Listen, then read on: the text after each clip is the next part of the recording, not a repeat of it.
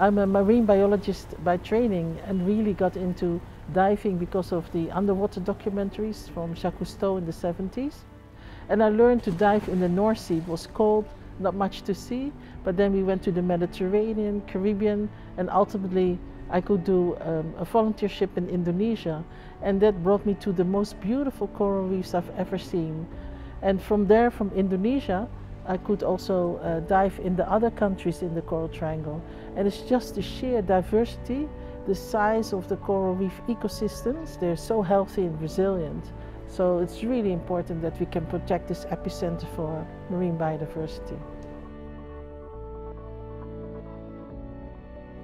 So we set up the Coral Triangle Center in 2010, really uh, with the mission to help safeguard the coastal and marine ecosystems in the Coral Triangle.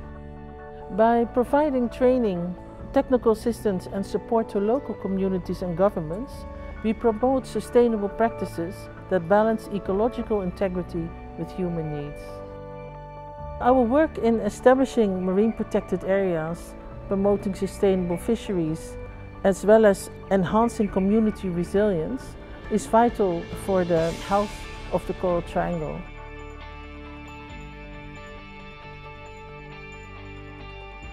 Inclusiveness is at the heart of what we do. We work closely with local communities, local governments, private sector, NGOs, uh, academic institutions to really achieve our milestones. The first time I saw the reefs of the Coral Triangle was in 1973. I was blown away out of the water completely by the, the abundance and the diversity of fish and corals. Very exciting to me to see the support of the Coral Triangle Center to include something that was about looking forward and they see the value for making reefs last over time and into the future. So we support marine protected areas throughout the Coral Triangle and globally we contribute to the commitment of setting aside 30% of the oceans by 2030.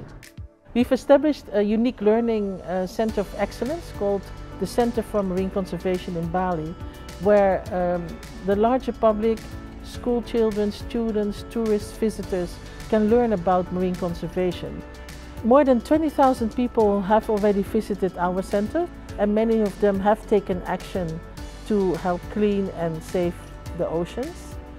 To inspire the younger generation, we have a special education program for school children and every month they come to the center to learn about coastal and marine ecosystems and the species that depend on them.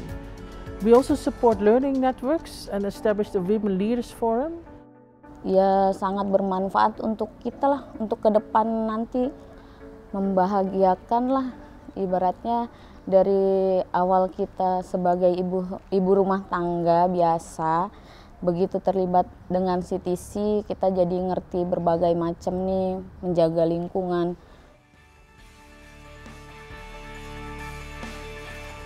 Covering over 70% of the planet's surface, oceans are vital for climate regulation, biodiversity protection, and the livelihoods of billions of people.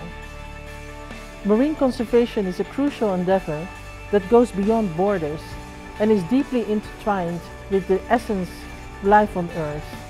We are facing environmental challenges that really requires ocean conservation. With your support, together, we will be able to keep the momentum and inspire people to care and protect for the ocean that connects us all.